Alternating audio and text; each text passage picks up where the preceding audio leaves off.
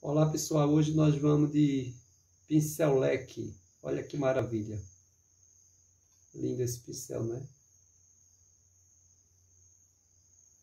Dicas de pinceladas de pincel leque, pessoal. Vamos lá.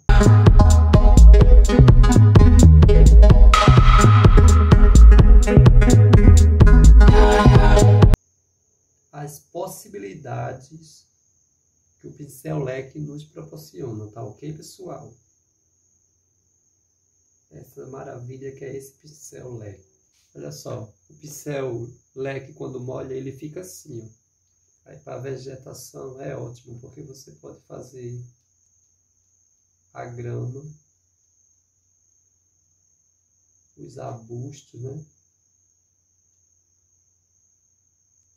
Olha só que lindo, pessoal. Eu amo esse efeito. Você pinta por baixo o fundo mais escuro e por cima você vai dando um efeito de luz com o mais claro, né? Fica um efeito bem legal. Aí aqui o acabamento que vai dar é você, né? Você que sabe o, o melhor efeito que você vai querer. E você também pode fazer, ó,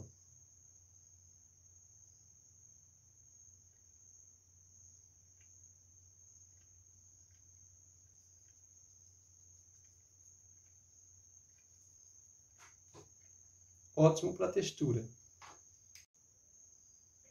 Aqui, ó, não está sendo minha intenção, mas é uma dica super boa também, é você fazer asas de pássaros, de águia, borboletas, para fazer uma coisa mais moderna, inovadora. Ideal. Treine aí.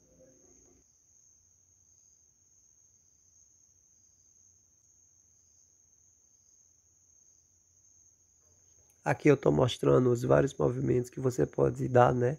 Para fazer vários tipos de pétalas, de flores. Usa aí a sua criatividade, abuse da sua criatividade.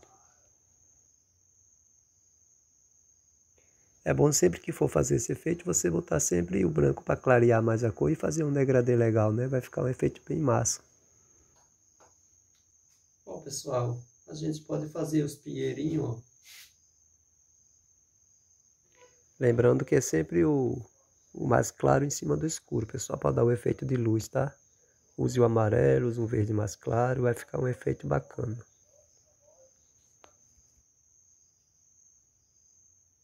Faz uma cor escura por baixo, aí por cima você vai colocando a luz, né? Vai botando assim, ó, as pontinhas da, as laterais, que é porque o, o, pinheiro ele vai afinando, né, o cone. Que o pincel, se você fizer assim, ele abre, aí não fica o efeito legal de pinheiro. Eu quero frisar que aqui são dicas para iniciante, tá pessoal? Para pessoas que estão tá querendo iniciar na pintura. Eu sei que nunca é demais aprender, a gente nunca sabe de tudo, mas são dicas simples, básicas para quem está querendo iniciar na pintura. Vamos de azul fitalocianina. Acho lindo esse azul, pessoal. Aqui também vai ser uma flor. Dessa vez eu vou usar o azul com um pouco de branco para fazer um efeito mais interessante. Vou colocar um pouco de branco aqui, né, para dar um efeito legal.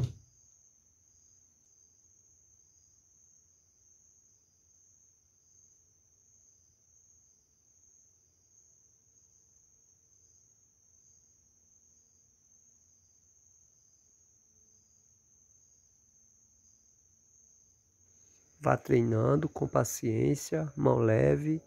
O movimento quem dá é você. Pressiona, puxa para afinar mais a pétala, puxa e solta.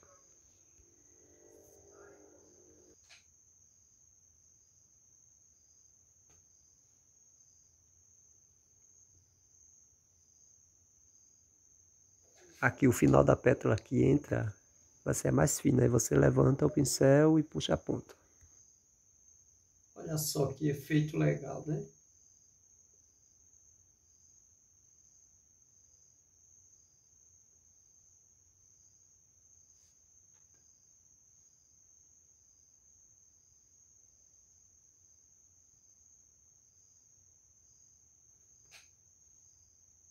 Você que dá o movimento para onde você quer que as pétalas vá, né?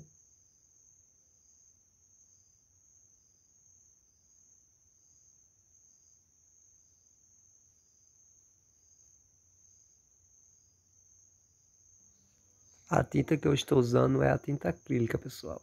acrílica seca super rápido, mas dá para trabalhar.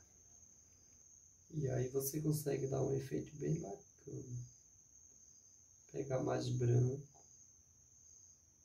para fazer o degradê das pétalas.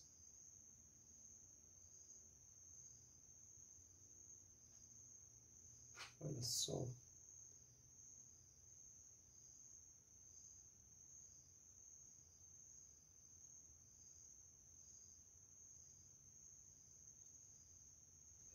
Desculpa a mão na frente, gente. A mão e a sombra eu estou aprendendo a gravar ainda. Que agora você coloca um amarelozinho e fica show. Céuzinho mesmo desse.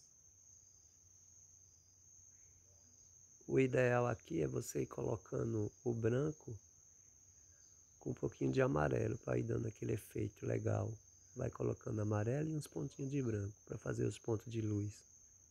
Vai ficar bem legal o seu trabalho.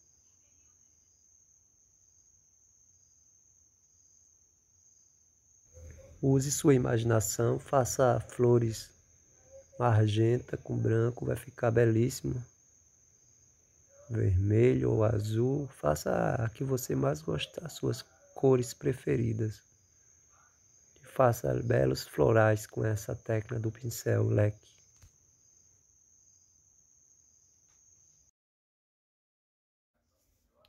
Aqui, ó, ideal para fazer textura, estampas.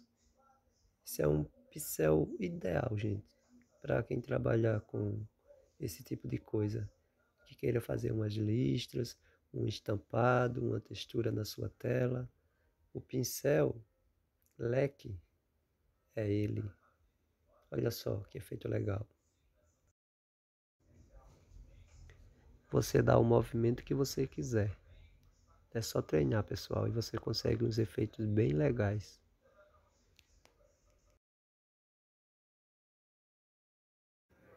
Pois bem, essa foi a dica de hoje. Espero que vocês tenham gostado. Curta, comente, deixe seu joinha. Se inscreva no canal, pessoal para ajudar o canal a crescer. E para receber mais dicas como esta, né? Você que gosta de arte, que quer aprender, está disposto. Esse é o caminho, pessoal. Vamos lá. Abraço.